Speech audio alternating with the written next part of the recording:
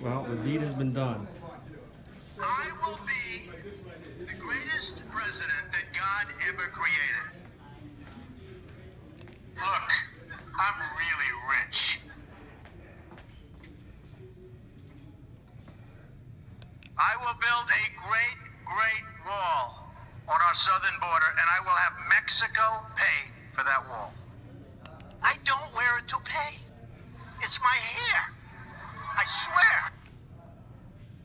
I love China. I just sold an apartment for $15 million to somebody from China. Our leaders are stupid. Our politicians are stupid.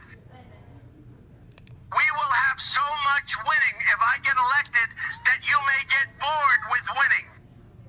I think I am a nice person. People that know me like me. I will be the greatest president that God ever created. Let's get it on.